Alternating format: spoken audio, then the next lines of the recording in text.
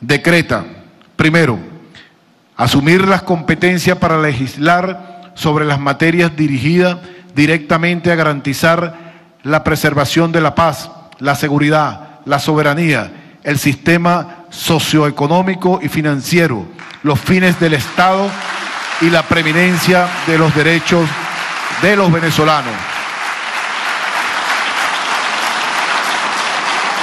Así como para dictar actos parlamentarios sin forma de ley vinculados con las referidas materias, conforme al mandato del artículo 349 de la Constitución de la República Bolivariana de Venezuela y las normas para garantizar el pleno funcionamiento institucional de la Asamblea Nacional Constituyente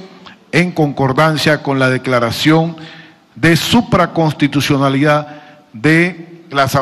de las decisiones de la Asamblea Nacional Constituyente en sentencia del Poder Judicial del año 1999.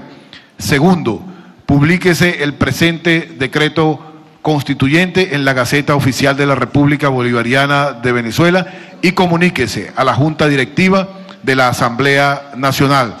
dado firmado en el hemiciclo protocolar del Palacio Federal Legislativo, sede de la Asamblea Nacional Constituyente, en Caracas a los 18 días del mes de agosto de 2017. Año 207 de la Independencia, 158 de la Federación